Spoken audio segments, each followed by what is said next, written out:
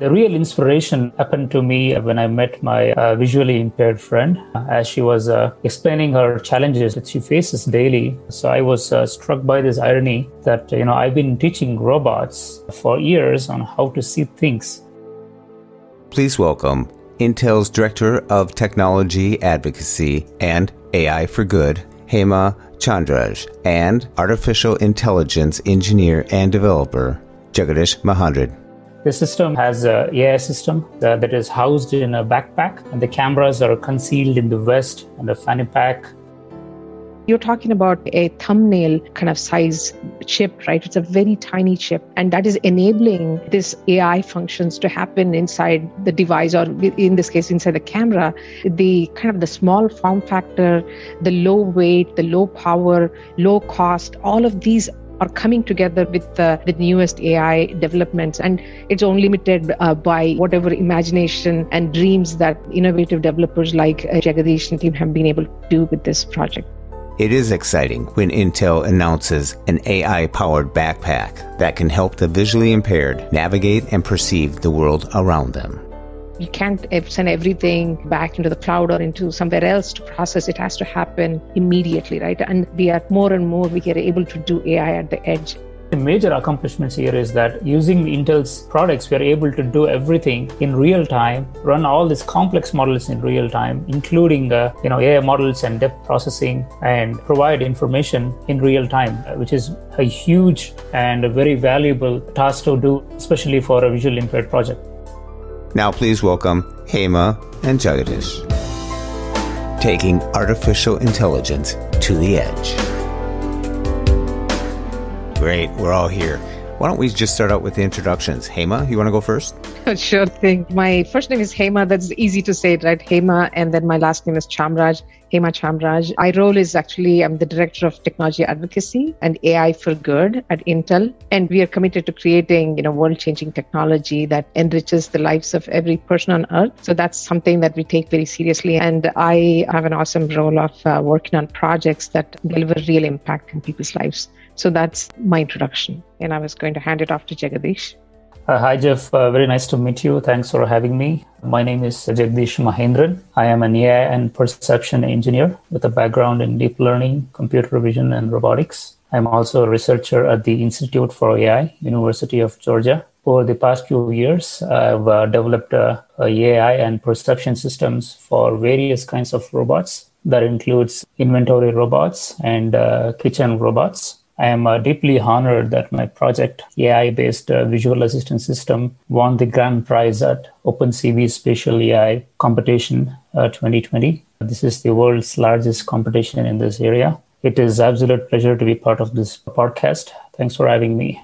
Well, thank you very much for those wonderful introductions and welcome to Blind Abilities. I'm Jeff Thompson and with me in the studio from the San Francisco Lighthouse Adaptation Store, it's Raqi Gomez. Thanks for being here, Raqi.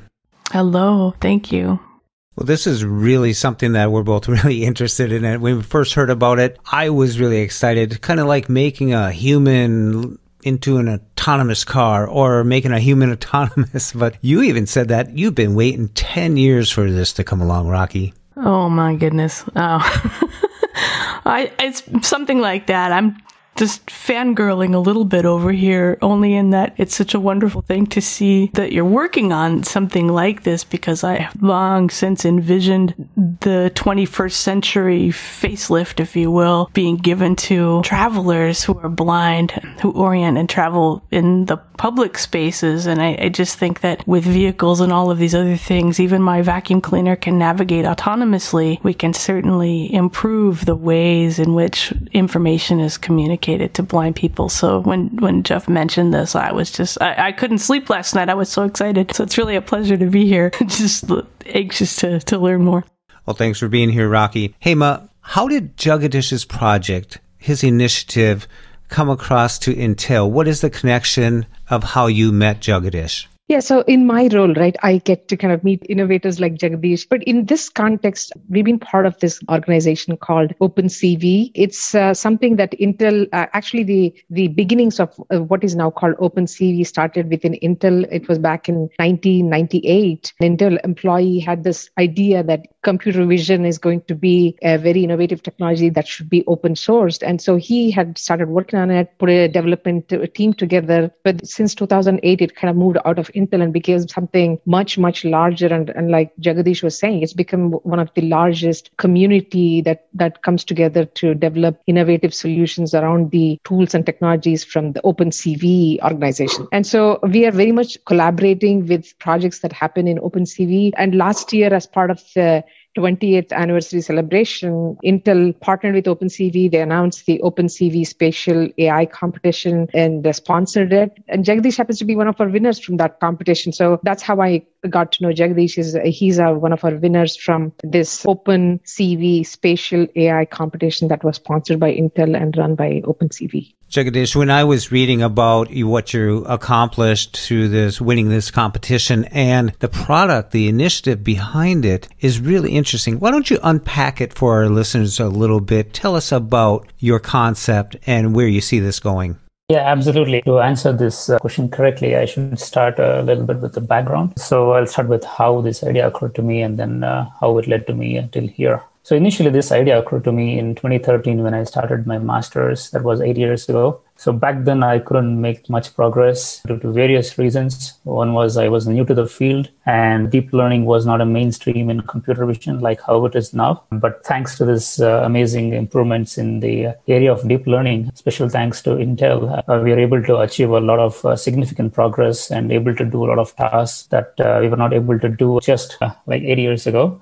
But the real inspiration happened to me when I met my uh, visually impaired friend uh, as she was uh, explaining her challenges that she faces daily. So I was uh, struck by this irony that, you know, I've been teaching robots for years on how to see things. While there are people who cannot see things and having problems with navigating the surroundings and they need help. So this is what fueled my motivation to develop a visual assistance system. And that's what led to me, uh, uh, you know, make this project. And to give a you know, description about the project as such, the system has a AI system uh, that is housed in a backpack, and the cameras are concealed in the vest and a fanny pack, along with the batteries that can last for eight hours.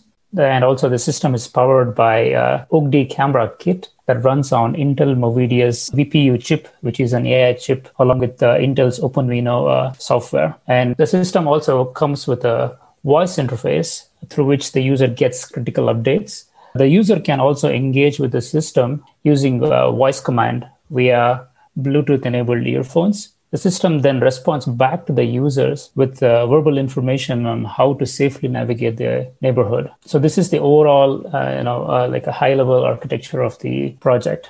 I'm curious about one one thing as I'm listening to you talking. It's just it's so exciting to to see this. It just I'm losing my I'm getting speechless over here.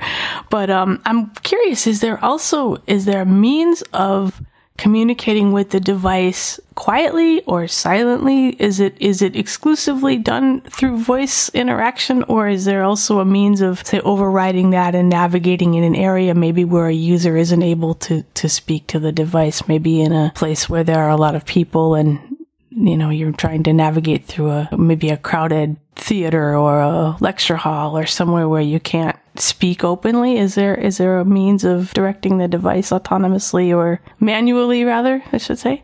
Yeah so so it works like this. So uh, generally you know the system provides this voice updates right? And these updates are classified based on the criticality. So let's say there is an obstacle that is very close to the user and this updates overrides everything else so let's say there was some other request that was asked by the user, but when the user encounters a critical uh, situation, this voice update takes over everything else and it would provide the critical update first to ensure the user is safe. And then the user can request for other features like describing the environment or saving the location via GPS or uh, accessing more other features. So the idea is prioritize the safety of the user. So no matter what the user is interacting with the system, if there is a critical update, this will be superseded compared to any other feature. And also a little bit more about the features. Like, for example, let's say the user wants to know about the surroundings and wants to learn about the objects around the user. So the user can request the system uh, via voice command using certain keyword. For example, using the keyword describe, the system will begin to describe the surroundings and it will start to list the objects that are being seen. For example, if there is a car on the right side, 20 degrees, so this will be translated to the clock notation, which will be one o'clock in the clock notation. And let's say if there is a person onto the left side, let's say 40 degrees, this would be translated to 10 o'clock, right? And also, as the user walks, this, this is another feature, as the user is walking closer to the stop sign, the system will update the user that it is going to activate crosswalk detection and it will start to perform crosswalk detection. But you know, these are the features that is done on user request, right? Mm-hmm. Crosswalk happens the moment the stop signs are, de- are detected. But however, if there is a critical update, let's say there is a bike that is coming closer within a certain range, all these updates will be superseded by critical updates saying, you know, there is an obstacle within, let's say, three feet or two feet, so that the user is safe enough. Mm-hmm. Is that obstacle, is that indicated by a voice or is that a tone or is it haptic? Is there, is there some means of telling the user without being communicated audibly, it's coming closer, it's coming closer, or three feet, two feet, you know? Is there a way of notifying the user? Yes, it is a voice that is played as an audio mm-hmm. through the uh, Bluetooth enabled earphones. I see. I really like that, that it prioritizes because I might be looking for a store or something like that, but it's very important that there's something moving in my path and all that. So that, that's really neat that it does have that feature. Yeah, so so to give you a, a, perspective, right? So the the development of this project has involved the main focus was to you know keep in mind that we ask for these suggestions from the visually impaired people on how to use this product and how they want this product to be and we conducted a lot of interviews and took their suggestion. And uh, we continuously try to integrate their suggestion as we develop the project. So which is why we wanted to have a very good user interface. Like one of the common issues with the existing solutions is that a lot of these apps provide a continuous bombardment of information. The user cannot concentrate after a certain while. And uh, this is something that we wanted to avoid and keep this information, uh, uh, you know, the, the rate of uh, information provided to the user to be limited and prioritize them based on the criticality. That's a really great point. Raqi and I were talking about that being bombarded by so much information. It almost paralyzes you. It stops you from moving forward because you have to take in so much information. So with that prioritization and the way you're working with this. And I'm glad you're getting input from people who are blind, visually impaired to discern what and how this operates. I was so glad to hear that too. I don't know if this is true, but Jagdish, you, you could uh, add on because you have, you're thinking of adding on a, a more things as you conduct this uh, testing right? Like you are thinking of adding other features like uh, the haptic like the maybe the variable uh, that could be in the future version of your project. Is that uh, accurate? I thought i captured yeah. something like that. Beyond in addition to the audible interface right? So you wanted to do more than maybe like a variable bla- bracelet or something. Yeah that's right. You made a good point there. So i'll just talk about like what are the next steps that we'll be doing and then i'll get to the point that hema just uh, pointed out you know uh, as a next step we've already formed a fantastic team called Mira. This contains people from various backgrounds who are volunteering to make a positive impact in the community. Our team also includes people who are uh, visually impaired uh, and they want to make a good impact in the visually impaired uh, people community. So we are in the process of raising funds for initial phase of prototype testing and this would involve prototype tested by our own team members and then eventually start to test outside our team. This is a little bit of a, about our team. And one of our main goal is to make this solution open source and free so that anyone could contribute and make it self-sustainable. So we are actively you know uh, welcoming developers to contribute and integrate whatever features they may think will be useful for this project. And this is where what the point Hema made makes a lot of sense the idea is we want to make this project as open as possible and everyone should be able to contribute. Along those lines we are we are also thinking of changing or adding not essentially changing as such like you know adding more user interface to make as simple as possible. One of them might be you know adding those haptic feedbacks like a ring or something so that the user is provided with information through vibrations and even reduce their attention into their audio and pay more attention to the actual environment. This is something in our pipeline. And there are a lot of exciting things and a lot of very interesting milestones that we have already laid out in the coming years. Sounds like it and Raqi, you yeah, you were you said you know in the beginning that you're so excited to hear about this project, and I heard Jagdish also say exciting, and I should use the same word. Exciting is what comes to mind because these are really exciting times. Like Jagdish said, if eight years ago the technology had not quite evolved uh, to the point where this could this is now a reality, right? That they have created something a real system that works. So that is what is exciting for us is that the technology has evolved and that we are able to now kind of bring it down to a point where it is not a you know when you, people think about ai right they think quickly about this huge humongous systems that needs to be in place. But this is you're talking about a thumbnail kind of size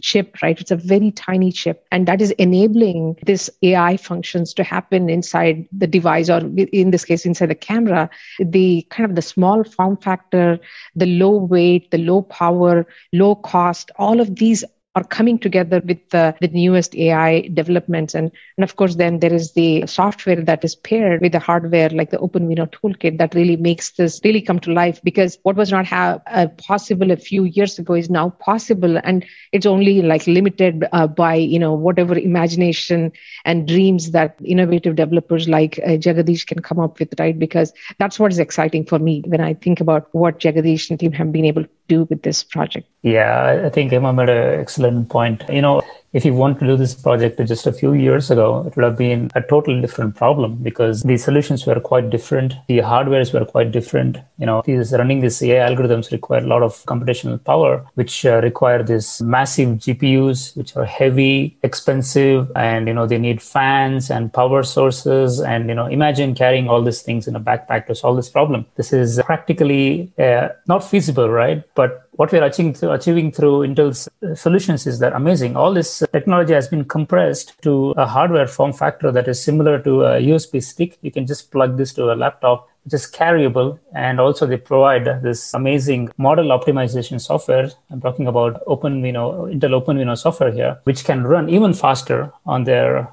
hardwares. So this is just a fantastic achievement and a huge boost in the technology when it comes to AI. Is that what led you to the, I believe it's called the Movidius VPU from Intel? Is that the size factor, the form factor, and everything to implement that into your work? That's right. Oh, great. I, I, think this is really neat that you're doing, as Raqi said, doing work of this nature to actually help with, we call it aut- autonomy or, you know, autonomous cars or something like that. All the factors and everything that goes in there and all the processing, the, the speed of processing.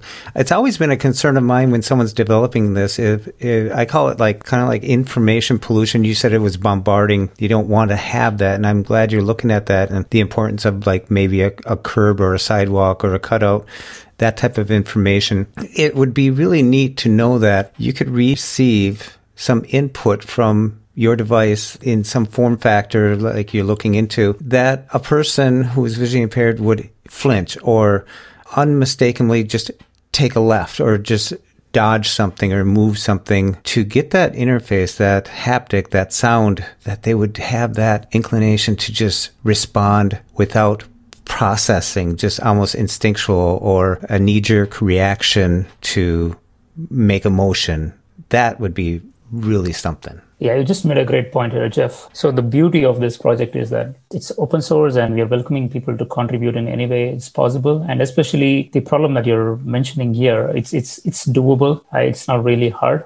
It's a matter of uh, you know coming up with a new hardware design so that you can plug them into one of the you know parts of the body and you can activate them using uh, certain signals. That is quite doable, and uh, hopefully in the future we'll include all these uh, features in our uh, project. And also, if I can add one more thing to what Jagdish said, I think the, it's the real time aspect of what you said, Jeff, is that the flinching of the, you know, that something that can vibrate or some kind of give a haptic feedback should happen so instantaneously, right? Like uh, as they make a sudden uh, movement that could be dangerous and and that's also the beauty of doing this ai at the edge is so important because you know you can't send everything back into the cloud or into somewhere else to process it has to happen immediately right? And and that is where we are in in this day and age of ai we are more and more we are able to do ai at the edge. And so and jagdish did you have anything to add on the real time aspect of it? Yeah you know the, the problems with one of the biggest challenge with the uh,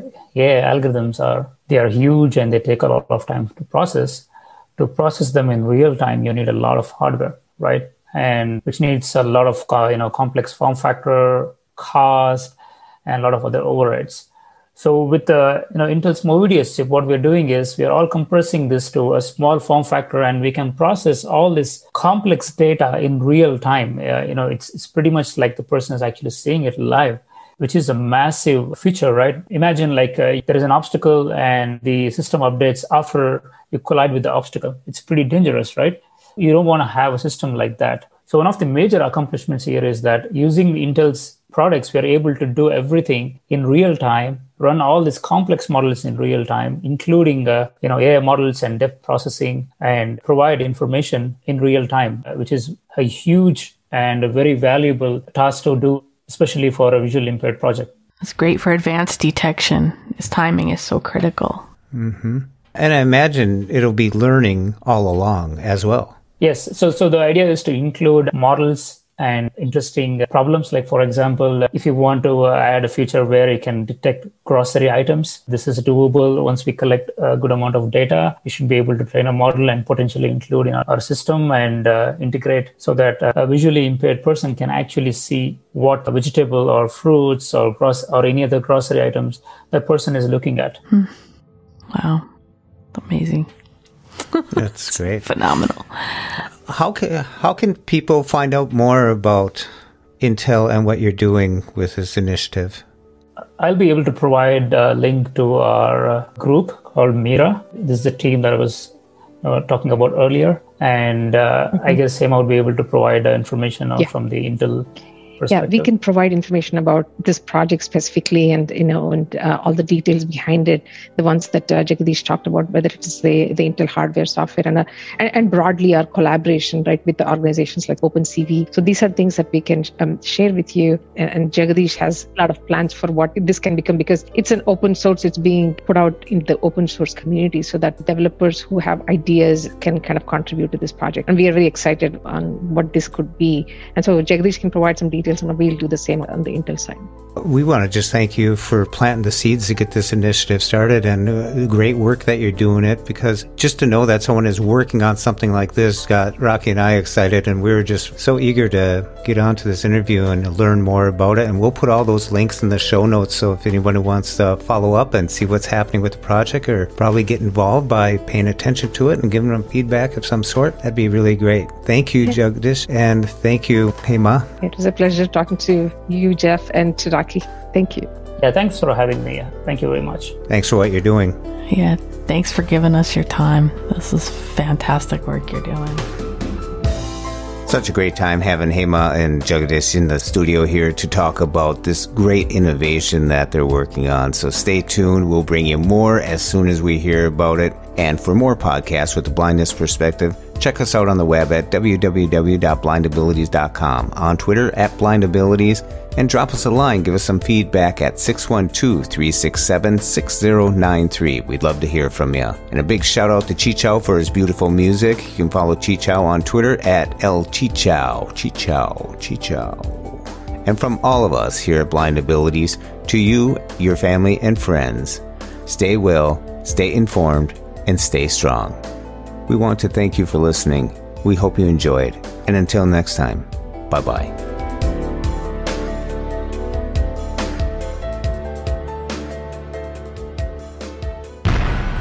When we share what we see through, through each, other's, each other's eyes, eyes, we can then, we can begin, begin, to bridge, bridge the, gap between, between the limited expectations and the, reality. and the realities of blind abilities. The realities of blind abilities. Of blind abilities.